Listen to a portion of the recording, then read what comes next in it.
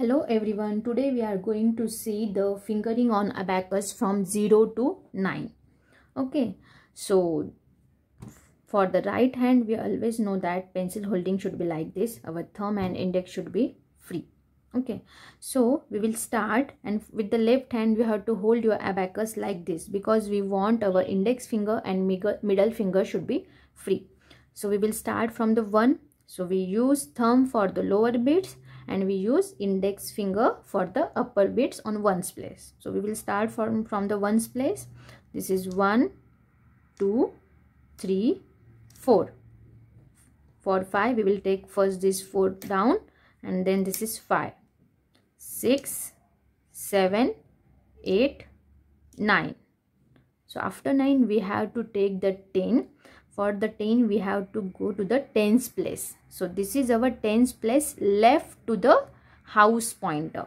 House pointer is our ones place and left to the house pointer is our tens place. So for taking 10 we will make it 0 and we will take one bit up. So this is our 10 this is our 10 then we will do 11 12 13 14 15 16 17 18 19 so for taking 20 again one bit up on the tens place and this should be 0 to 0 20 again 21 22 23 24 25 26 27 28 29 again for 30 we will take one bit up on the tens place and this should be 0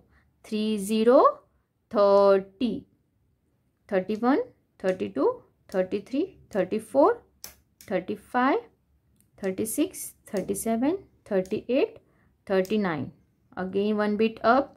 This is our 40 40 40 41 42 43 44 45 46 47 48 49 again 0 and the 50 should be you have to first remove these four bits from the 10 place and add 5 this is 5 0 50 51 52 53 54 55 56 57 58 59 for 60 we will make it 0 and add 1 on the tens place. This is 6 0 60 61 62 63 64 65 66 67 68 69 for 70 again we will add one bit to the tens place and we will make it 0 70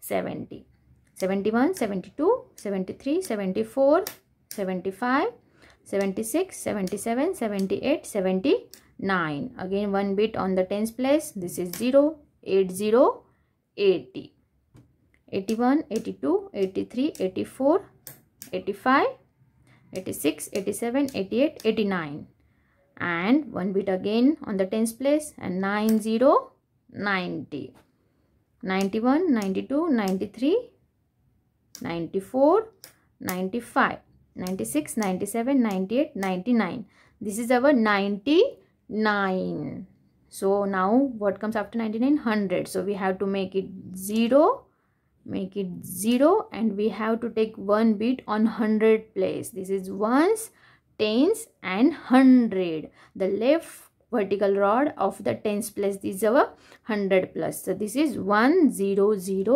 100 Hope you understand the fingering on abacus with the 0 to 100. Thank you.